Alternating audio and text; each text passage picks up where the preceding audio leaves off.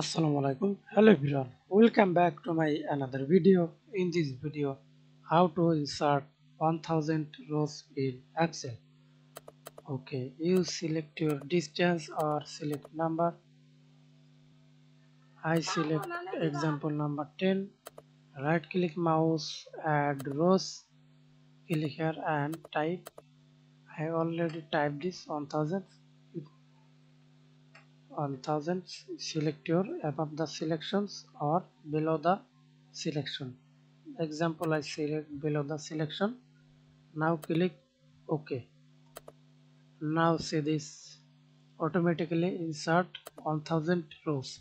Thanks for watching video. Please subscribe to my channel. Like comment share